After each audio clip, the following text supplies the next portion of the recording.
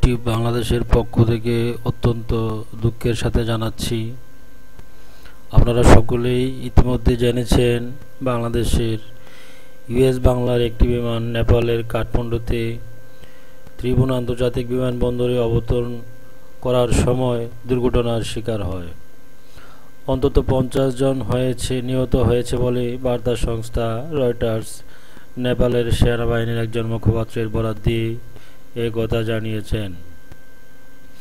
Tube বাংলাদেশের পক্ষ থেকে দুর্ঘটনায় হতাহত সকল যাত্রী, তাদের পরিবারের প্রতি রইল গভীর সমবেদনা। তাদের রুহেত, আত্মার মাগ ফেরাত কামনা করছি এবং নিহত পরিবারবর্গের প্রতি মন আল্লাহ তালা ধৈর্য ধারণ করার তৌফিক দান করুন।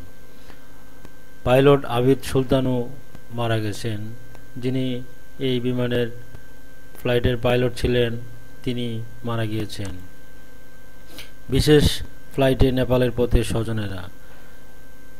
নেপালের প্লেন দুর্ঘটনায় আক্রান্ত বিমান যাত্রীদের স্বজনদের নিয়ে নেপালের আন্তর্জাতিক কাঠমান্ডুর উদ্দেশ্যে রওনা হয়েছে ইউএস বাংলা এয়ারলাইন্সের বিশেষ ফ্লাইট।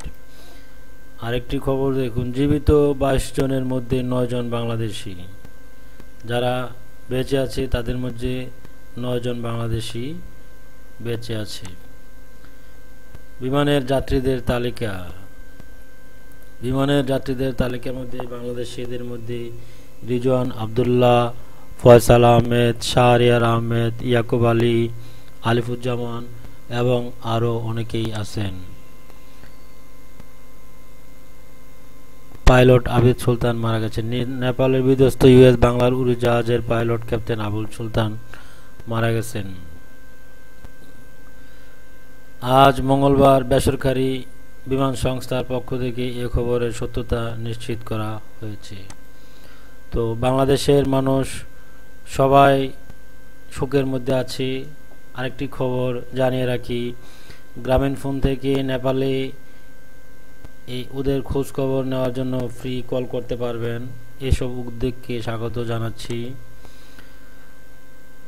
আল্লাহ আমাদের সবাইকে ভালো রাখুক। আল্লাহ হাফেজ বা